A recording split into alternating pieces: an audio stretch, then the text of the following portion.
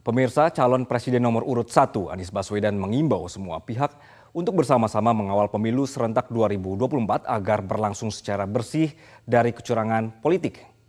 Pernyataan ini disampaikan Anies Baswedan saat menghadiri acara deklarasi pemilu damai yang digelar oleh Persaudaraan Setia Hati Terate atau SHT di Kota Madiun, Jawa Timur.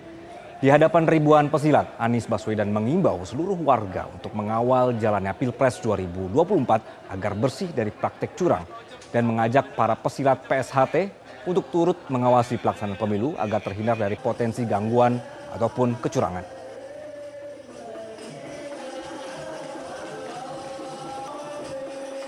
Kami ingin sampaikan terima kasih atas undangan untuk hadir di dalam kegiatan deklarasi pemilu damai oleh PSHT.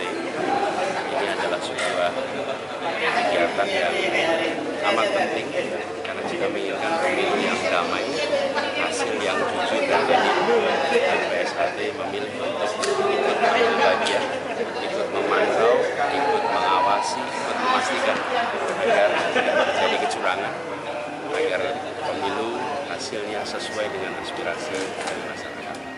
Jelajahi cara baru mendapatkan informasi. Download Metro TV Extend sekarang.